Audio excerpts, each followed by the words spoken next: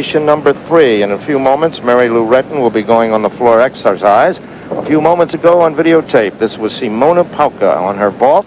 And Simona over-rotated her vault and she sat and you can see that her legs were apart on the very beginning and she just couldn't hold on to it. She has another chance to do the vault.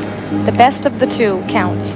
Well, here's Simona in third place after two rotations. She got in here because Agache, who is considered one of the top gymnasts in Romania, fell off two of the apparatus and didn't make it here to the final, or for the all-around. And here comes Simona with some very nice scores. And Simona has not had major international competition under her belt, and yet she has, as you say, Jack, performed incredibly well. Waiting for the judges now, and it looks like there's a bit of a conference. Girls get two vaults, they take the best. Men only get one. Course, the successful vaults begin with a strong run. They explode off the horse and the board and get their feet up and over their head. And you can see that this, the lady to the left of your screen is Madame Simonescu, who is Romanian, and she is arguing some points here. Sharon Valley, Sharon Weber from the United States.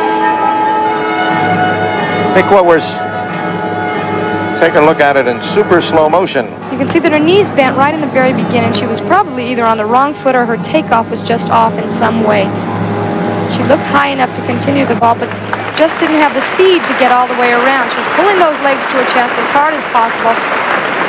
In fact, she did, oh, overdid it just a little bit, and that caused her to over-rotate. Tried to hold on to it, but there's no way when you are rotating that quickly. We get some idea of the depth of the Romanian women just here tonight. They have that great gymnastics center in Deva, which was the legacy of Nadia Comaneci.